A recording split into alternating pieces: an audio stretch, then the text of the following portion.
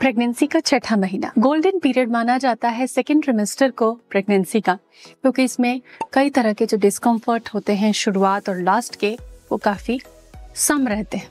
छठे महीने में क्या क्या होता है, क्या सावधानियाँ रखनी चाहिए, जिससे छठे महीने में होने वाली परेशानियों से आप बच सकें। Hello and welcome again to mom channel हम आपके लिए उपयोगी इन जानकारी लेकर आते हैं, इसलिए चैनल को ज़रूर सब्सक्राइब करें, ताकि आप इनका लाभ ले सकें। प्रेगनेंसी का छठा महीना, यहाँ पर अगर हम बच्चे की बात करें तो बच्चे का वज़न लगभग 800 ग्राम से 1 किलो के आसपास होता है। बच्चा लाल रक्त कणिकाएँ आरबीसी खुद भी प्रोड्यूस करना शुरू कर चुका होता है। टेस्ट बर्ड्स आई ये सारे डेवलप हो चुकी होती हैं। और इसके बाद से बच्चा तेज़ी से वज़न लेने वाला होगा। तो इस समय माँ के शरीर में क्या क्या परेशानियाँ होती हैं?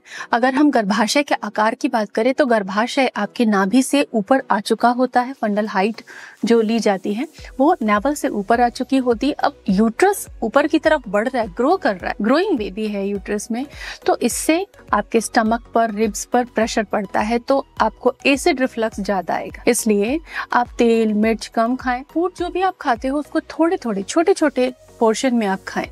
एक बार ढेर सारा खाना खाने से आपको हमेशा ही प्रॉब्लम होगी। को अपने मील को छोटे छोटे पोर्शंस में डिवाइड करना चाहे छह बार खाना पड़े, चाहे आठ बार। जब भूख लगे, थोड़ी मात्रा में खाएँ, जिससे acid reflux constipation heartburn की प्रॉब्लम आपको न सता इसके अलावा ब्लैडर पर भी ग्रोइंग यूट्रस प्रेशर है ग्रोइन एरिया में भी नसों में खिंचाव होना पेन होना, चलने में कई बार कभी कभी सुबह उठते ही तकलीफ़ होना कॉमन है। इसको दूर करने के लिए क्या करें? इसको दूर करने के लिए आप रेगुलर एक्सरसाइज करते रहें।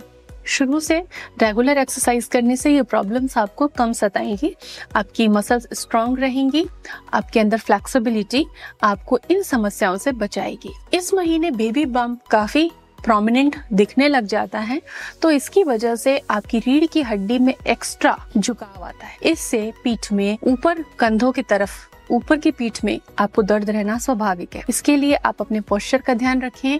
अगर ट्विंस हैं या मल्टीपल प्रेगनेंसीज हैं तो आप बेली बेंड का ज़रूर इस्तेमाल करें। इससे आपकी रीढ़ की हड्डी को ज़रूरी सपोर्ट मिलेगा, पॉस्चर ठीक रहेगा और पीठ और कमर में दर्द कम होगा। जो महिलाएँ रेगुलर योगा वर्कआउट करती हैं, एक्सरसाइज करती हैं, उन्हें ये पेन बहुत ही कम होता है। अब बात करते हैं कि ग्रोइंग वैली जो है, स्ट्रेच मार्क्स भी लेकर आता है। थाइस पर, बाजू पर, ब्रेस्ट पर, पेट पर आपके खिंचाव आ सकते हैं। तो इसके लिए आप एक अच्छा मॉइस्चराइजर या फिर कोकोनट का ऑयल तीन से चार बार अपने बॉडी पर अप्लाई करें। इस समय आपको पैल्पिटेशन हार्ट में पैल्पिटेशन आपको ज़्यादा महसूस हो सकती है, ऐसा क्यों? क्या ये गलत है? जी नहीं, ये गलत नहीं है। ये शरीर में होने वाले बदलाव हैं, क्योंकि खून की मात्रा तेज़ी से बढ़ रही है शरीर में। इस वजह से आपको खून की कमी भी हो सकती है।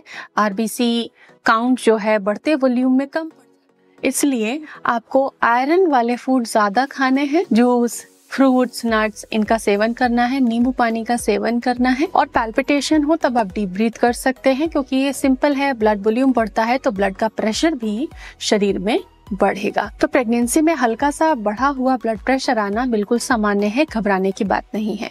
क्रेविंग से बचें प्रोटीन अपने डाइट में सही मात्रा में ज़रूर शामिल करें, अपने खाने को छोटे छोटे मील में लेकर खाएँ रिलैक्सेशन ज़रूर करें, और अब बच्चा तेज़ी से वेट गेन करेगा तो आपकी डाइट में 300 कैलोरी एक्स्ट्रा होना ज़रूरी है। अपना ख्याल रखें और जुड़े रहें हमारे साथ।